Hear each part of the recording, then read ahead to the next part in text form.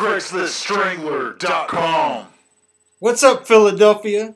Check this out, guys. Are you playing around on Craigslist trying to get your stuff to show up?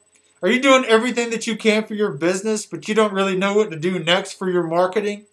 Are your skills lacking when it comes to marketing? What if you could get your face on the front page of Google?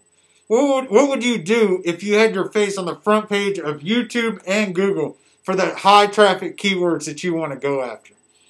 Here's the thing, guys. I got a course that could make it so you could slay all competition.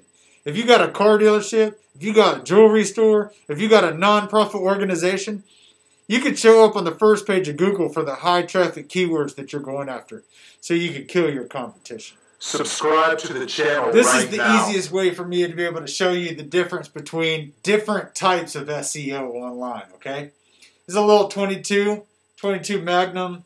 This will do the job. I mean, little 22, I mean, what, what are you going to do with this? You know, like, if you pull this out in a gunfight, people might laugh at you, right? And then, you got a little 9 millimeter, right? This thing right here, pretty much what every gangster in America uses right here.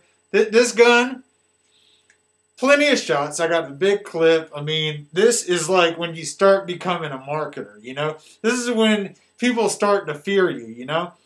But I'm not trying to I'm not trying to play small.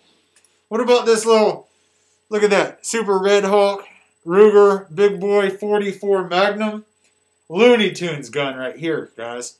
This thing will blow a blow this thing you can take out anything with this pretty much, but it's too easy to miss, y'all. It's too easy to miss.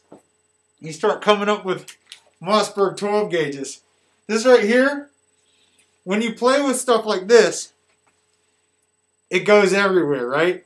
Now, think about this, guys. When you're doing your marketing, you want your you want your shells to go everywhere. You don't want them just to be in one spot, right? So that's the cool thing about YouTube. That's the cool thing about Google and YouTube and getting yourself to the top of Google, right? Check this out, guys. This right here, Saiga 12 gauge street sweeper. Look at that right there, dude.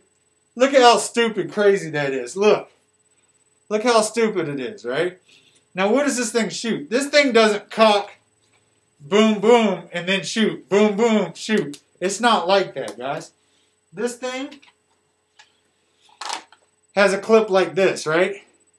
So it's it's it's semi-automatic. It just pow, pow, pow. But instead of the bullets just going straight, they spread out, right? You can't miss with this, guys. Now let's let's think about this, okay? You're online, you're doing your stuff online. You got your Craigslist going, you got you know all this stuff going. You got a website. How are you able to make it so your stuff shows up on, on the first page of Google, right?